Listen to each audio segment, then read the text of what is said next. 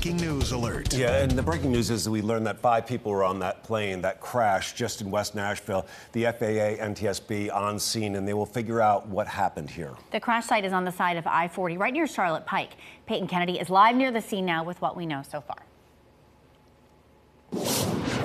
Exactly. A total of five people have died in this crash. That is all of the occupants on board, according to the Metro Nashville Police Department.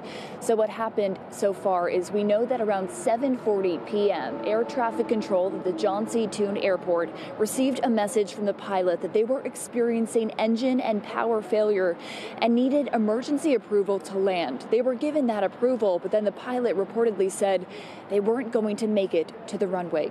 Cameras captured the moment this single engine plane came down behind the Costco store off of Charlotte Pike and next to the eastbound lanes of I 40.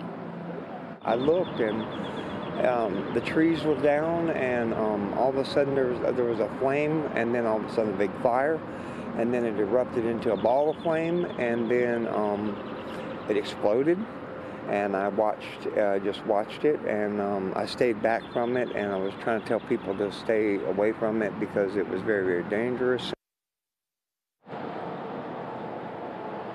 And you just heard from a witness I spoke to this morning who experienced the whole thing. Officials say when the plane hit the ground, it immediately went up in flames. Police say in the process, no vehicles or buildings were hit and no people on the ground were injured. The FAA is here investigating the circumstances along with the National Transportation and Safety Board.